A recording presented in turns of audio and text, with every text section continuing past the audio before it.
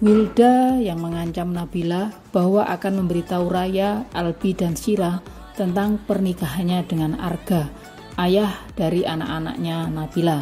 Di sisi lain, Nabila yang meminta tolong Firman untuk mencegah berita dari Wilda agar tidak sampai di HP-nya Raya berhasil. Firman berhasil memblok nomor HP Wilda di HP-nya Raya. Di episode selanjutnya nanti, Raya dan Nabila sama-sama sudah sampai di rumah.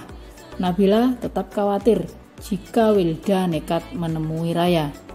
Menurut Nabila, di rumah Raya biasa-biasa saja. Tapi kali ini justru Raya yang merasa bundanya agak aneh, seperti menyembunyikan sesuatu. Nantinya dengan hati-hati Raya menanyakan pada bundanya mengapa bunda gelisah. Seperti biasa, Nabila dengan kata-kata bijaknya dan dengan kasih sayangnya memberi nasihat pada Raya terlebih dahulu.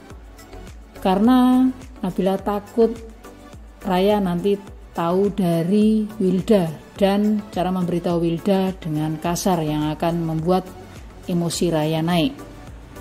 Kemudian berdasarkan itu Nabila mengatakan jika ayahnya Raya menikah dengan Tante Wilda, bagaimana Raya?